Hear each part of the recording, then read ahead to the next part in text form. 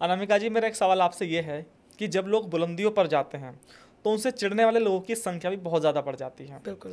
आपको एक बार एक टीवी में शो करने के लिए कहीं से फ़ोन आया था आप एयरपोर्ट तक पहुँची हुई थी और उसके बाद आपको मना कर दिया गया। हाँ। ऐसे कौन से वो लोग हैं जो आपसे ईर्ष्या रखते हैं और फिर जब इस तरह की घटनाएँ होती हैं तो अपने आप को कैसे संभालती हैं आप? मैं अनुराग जी आपका इतना धन्यवाद करना चाहती हूँ। ये प्रश्न आपने पूछा और अ, इस प्रश्न ने मेरी ज़िंदगी मतलब इस घटना ने मेरी ज़िंदगी बदल दी।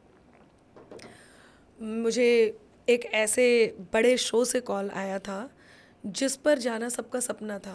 अब तो खैर आप लोगों ने खुद ही इतने बड़े बड़े शो करके हमें इतना बड़ा कर दिया है कि अब ऐसा कुछ मन में नहीं बचा। लेकिन हाँ जब मैं नया नया एक टैलेंटेड कलाकार कहीं जाने की सोच रहा हूँ तो उस शो के लिए मुझे कॉल आया। मेरी पूरी तैयारी हो गई। क्या क्या क्योंकि वो प्री डिसाइडेड रहती हैं सारी चीज़ें तो क्या क्या पूछा जाएगा क्या क्या आपको करना है वो सब कुछ डिसाइड हो गया। टिकट्स मेरे पास आ गए मैं घर से चल दी। लेकिन क्योंकि उसी ही शो में एक और जिन्होंने मुझे प्रतिद्वंदी माना जो खुद बहुत अपने आप में बहुत बड़े व्यक्तित्व हैं उन्हें फ़र्क नहीं पड़ना चाहिए क्योंकि मेरा मानना ये है कि बड़ा व्यक्ति वही होता है जो छोटों को स्वीकार करे। उन्हें यह एहसास ना कराए कि आप कुछ नहीं हो। व्यक्तित्व अ, हमारे कुनबे के बड़े कवि आदरणीय कुंवर बेचैन जी कहते हैं कि कोई उस पेड़ से सीखे मुसीबत में अड़े रहना।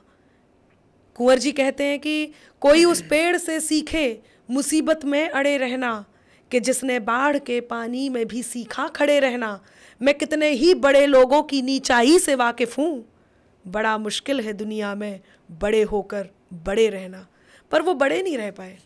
जिन्होंने ये काम किया उन्होंने मुझे तो बता भी दिया गया था तो मैं इसको कहने में मुझे कोई हर्ज नहीं है।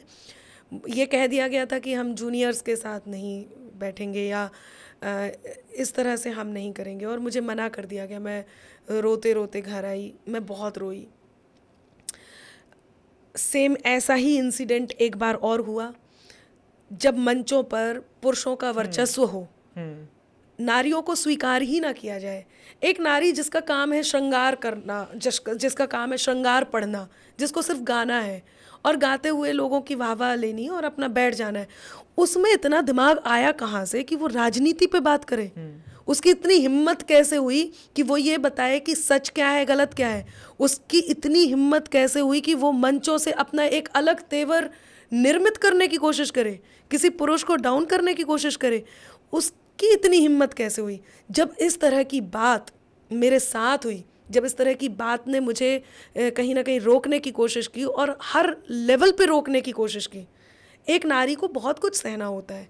तब अनामिका ने खुद को एक बात बताई और वो बात ये थी कि सृष्टि के निर्माण में जो साझेदारी कर सकती है सृष्टि के निर्माण में जो साझेदारी कर सकती है शिव शक्ति को शक्ति शिव को शिवकारी कर सकती है शिव शक्ति को शक्ति शिव को शिवकारी कर सकती है तो पुरुषों जैसा बनने में यू निज मौलिकता क्या खोना कोई नहीं कर सकता है जो वो नारी कर सकती है।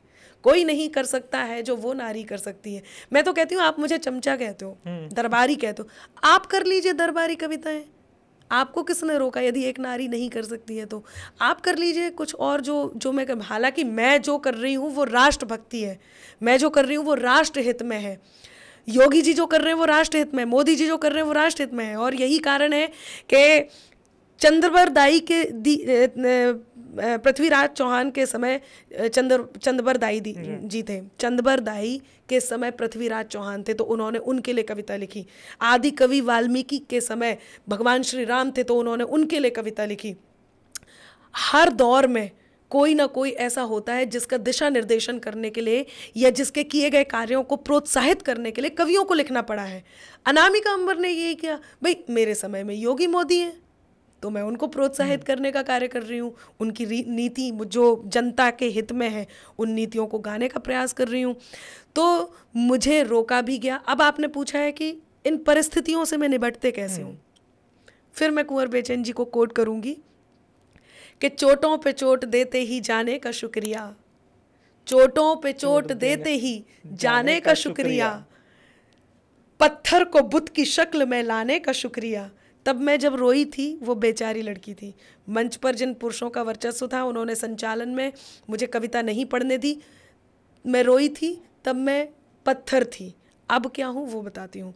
कि चोटों पे चोट देते ही जाने का शुक्रिया पत्थर को बुत की शक्ल में लाने का शुक्रिया और तुम ना आती तो कैसे बनाता मैं सीढ़ियाँ दीवारों मेरी राह में आने का शुक्रिया।